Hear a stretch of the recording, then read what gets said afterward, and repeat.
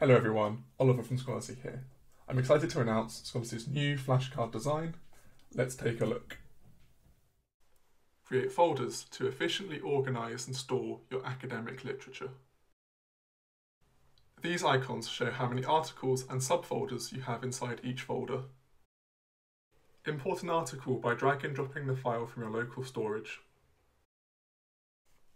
Alternatively, click on Click to Import and then click Choose Files to navigate through your file storage for more PDFs. Alternatively, click on Enter URL or text and paste in a web link. You can also click on Cloud Storage to choose from a variety of integrations with cloud storage providers.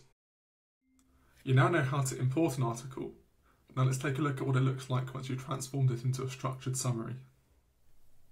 The streamlined, clean reading design removes all distractions, enabling you to dive straight into your reading.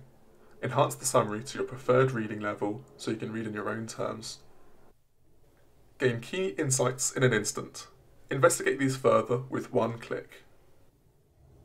Walk through the main findings for each section of any article at your own pace. Expand these sections to get more detail and further insights. Dig deeper into the key concepts. Ask your paper a question or type in a prompt. Determine the research quality of any study, and evaluate how claims made against other research have been supported. In one click, you'll be taken to the author's original discussion. Understand the limitations of any study, and learn about what's coming next. Dig deep into the full text without the distractions. Investigate any citations with one click. Read the Scholarcy findings to get an informative overview of any of the cited works. Inspect any figure or table with ease.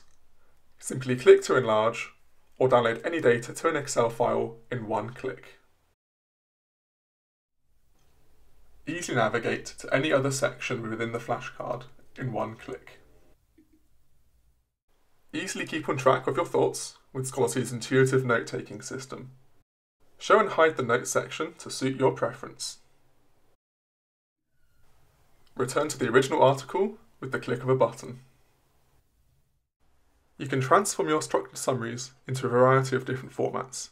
Click on Export and then click on your desired export format.